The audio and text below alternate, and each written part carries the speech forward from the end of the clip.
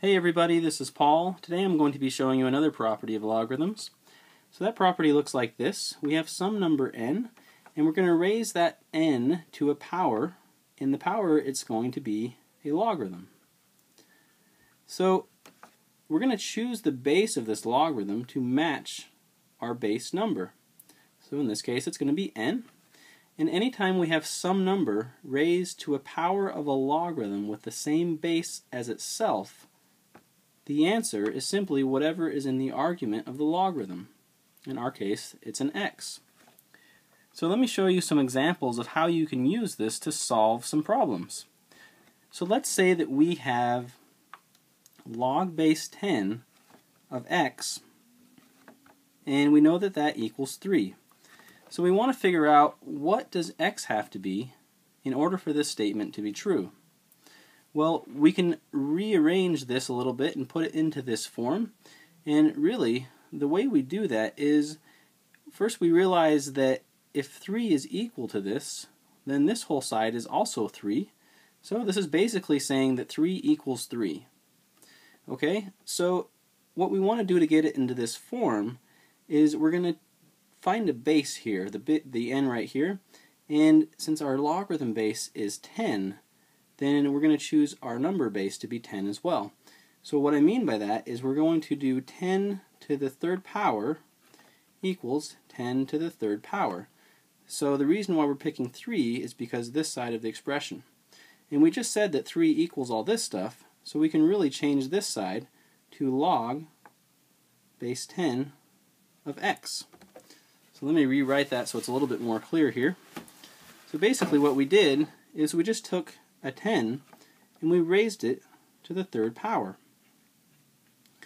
And we were kind of tricky the way we did that because we used this statement to say, okay, well this whole side has to equal 3 for this statement to be true. So then raising this to log base 10 of x is the same thing as raising it to the third power. 10 to the third equals 10 to the third. So now that we've got this in this form, we can just use this property here and we'll find that this whole side is equal to x because of this property.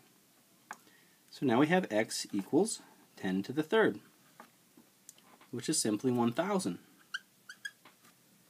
So if we go back to this expression, we're basically saying that log base 10 of x equals 3, and we said that x equals 1,000.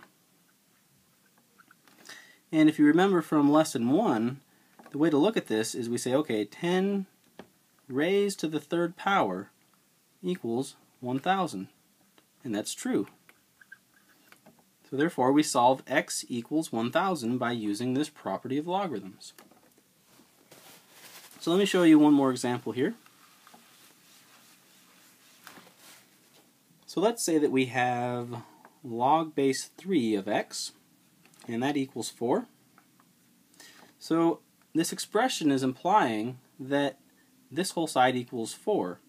So we could really do 3 raised to the fourth power equals 3 raised to the fourth power. And because we're implying that this whole side equals 4, we can change this 4 to be log base 3 of x.